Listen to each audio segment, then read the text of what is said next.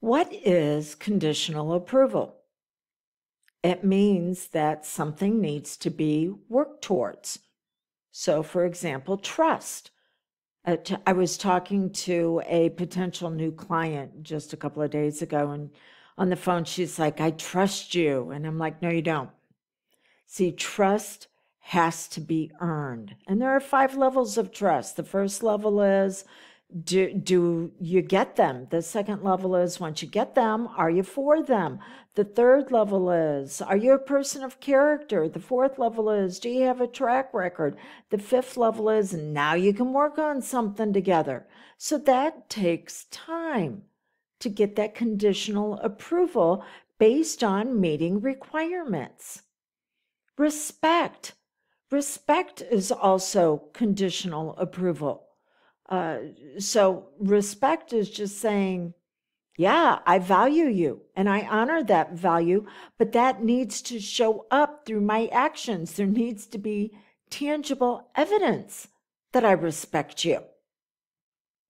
And therein lies the challenge because we are seeking conditional approval in areas where giving them more isn't going to change anything. If someone does not value your love, giving them more love isn't going to change that. If someone does not value truth, oh, that's a big one going on in today's society. Uh, if someone doesn't value truth, trying to show them the error of their ways ain't going to change it. If someone doesn't value healthy growth, more life in a way that benefits everyone. Trying to get them to grow? No, it's not going to do anything. Uh, in fact, growth can actually show up dysfunctional. Cancer is growth. Cancer is growth without boundaries. And when people want to violate boundaries, yeah, what they're doing is very cancerous. Okay. So someone does not value you. You cannot seek conditional approval and acceptance from them by giving them more of what didn't work to start with. And what does that lead that us to? That leads us to our containers of magnificence and brilliance leaking. What do I mean by that? Okay, so boundaries. Boundaries are simply a container that holds something, and we have boundaries with others as well as internal boundaries. And these boundaries allow us to access what's inside of them. You have a boundary uh, around your wellness, physical wellness, um, as well as the wellness and what you can produce for your environment. And that container of wellness holds hope and optimism and what you value, the things that are phenomenal in life. And then you have a spiritual maturity container that holds acceptance and grace and truth and what you're willing to do, as well as the rules that restrict access to you if it hasn't been earned in a healthy way. And then there's autonomy. That's that is where you are separate and distinct and you are able to regulate and take ownership. And then you have relationship container where you are interdependent. You've got people that you can rely on. You um, have a, a competency in these areas. That's that's just to go over these different buckets, if you will, um, and in a light level way. And when you've had uh, programming and conditioning that says you must have conditional acceptance for your value, for your love, for your growth, for your truth. Well, trust has been broken again and again for you. So, what you will continue to do is to give more, thinking that you're finally going to get those needs met. But no, when you're a dysfunctional giver, you attract dysfunctional takers. So, those past events, you have no trust. Then you have perceived deficiencies what you think is broken, flawed, and needs to be fixed within you because this has continued to happen, not realizing that it is what you were taught to do.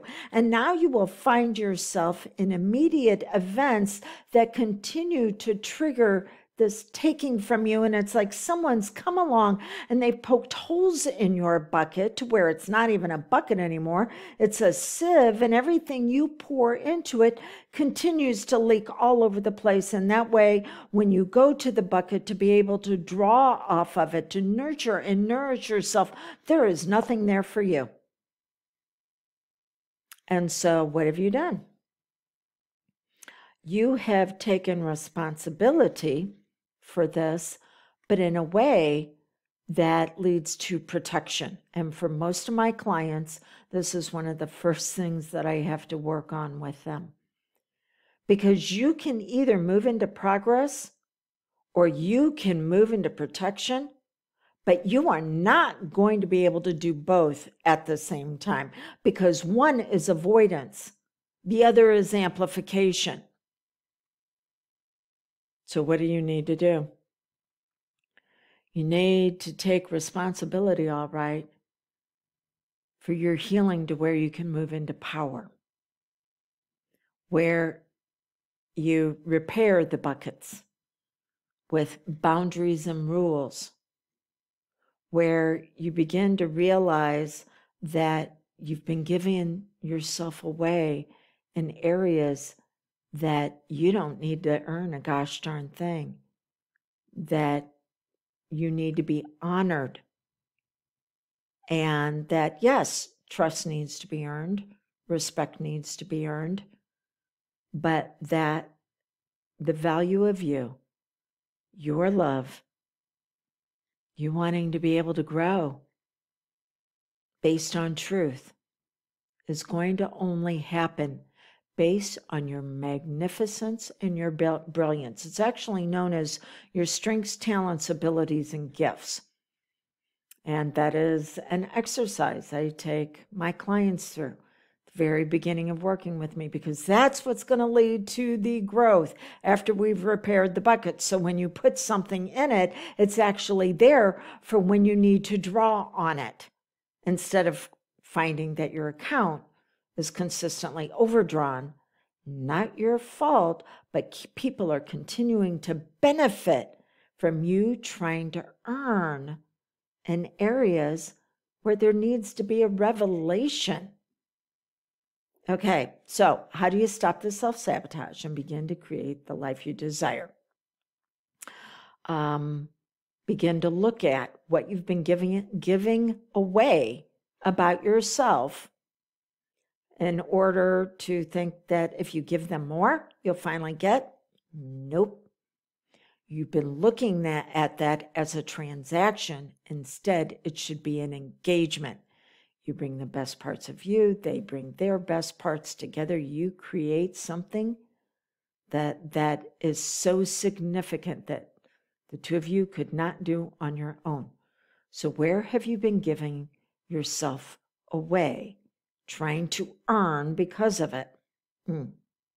And then what does need to be earned? They need to earn your trust.